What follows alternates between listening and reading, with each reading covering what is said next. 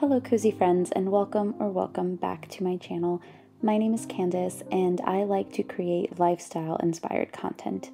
If you are new here, I would love if you guys could become a cozy friend by subscribing to the channel and hitting that notification bell so you can be notified the next time I upload. Also, if you're interested in some extra content, be sure to check out my Instagram, which is Rose Latte Girl. Alright, guys, so without further ado, we're going to jump right into the video today. So the first thing that I did with my sketchbook here was lay down some washi tape and I actually got this washi tape from a subscription box for Archer and Olive. So I don't actually think you can purchase this one. I think you actually needed to get it in the box. However, Archer and Olive um, washi tape is some of my favorite washi tape. So if you're thinking about getting some, I would just go ahead and do so. Anyway, this is going to be my first time trying to work with paint. So bear with me. I know there might be a lot of mistakes, but I am learning and I'm just really inspired lately and wanted to do something more artistic and something super different. For my paint today, I will be using the Himi gouache paint. I have been seeing this everywhere and quite honestly, I've heard nothing but really good reviews from it, especially if you're a beginner, they say it's perfect. And I really wanted to give it a try. So I have the Himi paints and all I really did here was just do a light sketch of what I was trying to paint today. Now, I was inspired by the most random thing.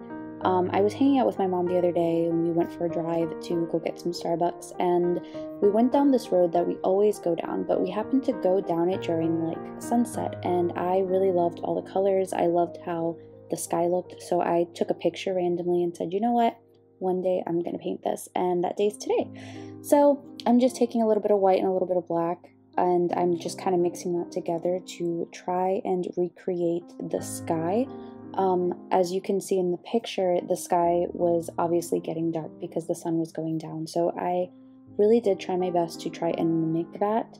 And like I said, you might see some mistakes here and there, but I was actually really excited to make these mistakes and see them later on because now I look back and I can kind of see where I could have changed certain colors or done something differently. And that's what I have to say I really love about art. And what I really love about recording myself doing these things is I can go back later and say, wow, I've really transformed my art or my writing or whatever it may be since then.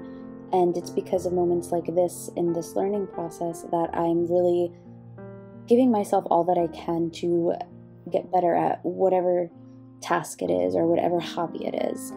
And I, I think that's pretty amazing. Um, all I'm doing here now is kind of going back in and blending the colors.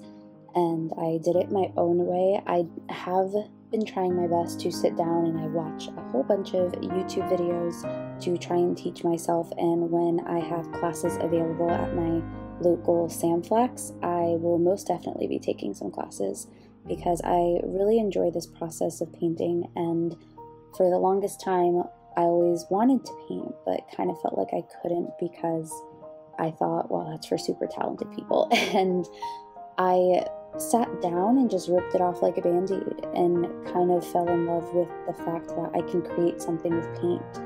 And that was just truly inspiring. I had done the same thing with my bullet journaling. I had said, I can't do that, I'm not that creative. But a year later, or two years at this point, I'm here on my second year of bullet journaling, and I can see just how much my art has transformed on paper itself. So it's pretty inspiring if you sit down and think about it. If there's something that you've had on your heart that you've wanted to do or you've wanted to accomplish, or you wanted to start, I say just rip it off like a band aid because you're going to keep putting it off um, for Monday and say, I will do that on Monday, like that saying goes, and you're going to keep putting it off and you might never get to do it. And I didn't want that to be me. So I ripped it off like a band aid, so to speak, as I keep saying. Anyway, I wanted to add the trees as um, I went further into the painting, and I kind of did the stippling effect with my fan brush and I think it made it look really, really cool, to be honest, and I really love how it came out.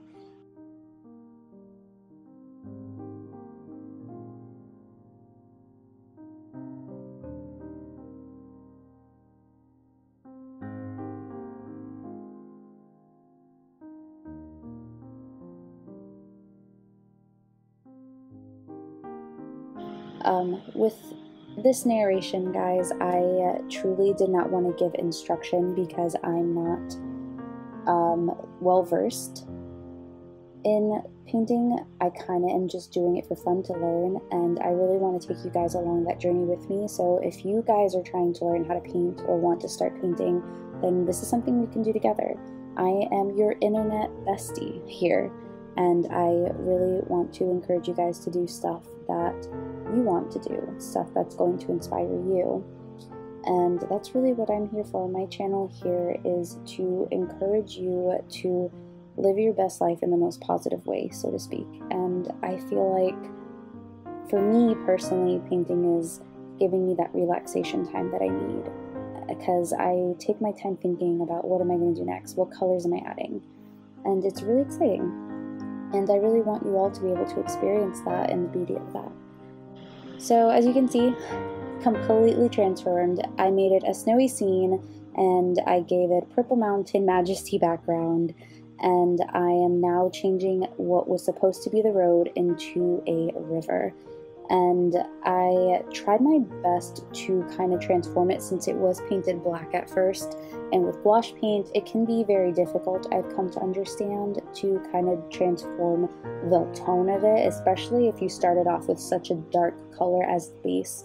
But I did try my best to figure out a way to kind of brighten it and to give it more dimension to make it look like water. And I kind of feel as a beginner I didn't do half bad.